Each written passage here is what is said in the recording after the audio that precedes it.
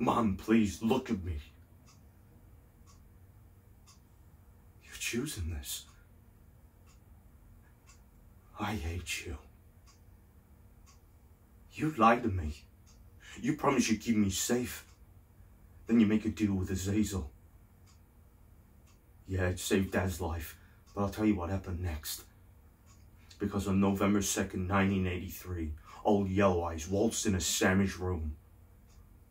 All because of your deal. And you left us. Alone. Because Dad was a shell.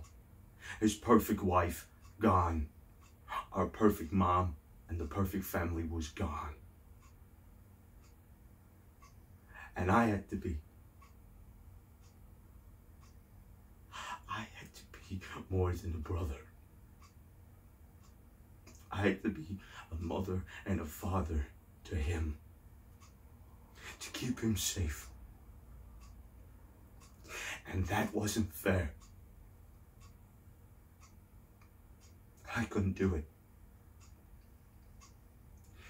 And you don't want to know what that's like. They killed the girl he loved. He got possessed by Lucifer. They tortured him in hell. And he lost his soul. His soul. All of it was because of you. All of it was because of you. I hate you. I hate you. But I love you. And I understand because I've made some crazy deals to save the ones I love.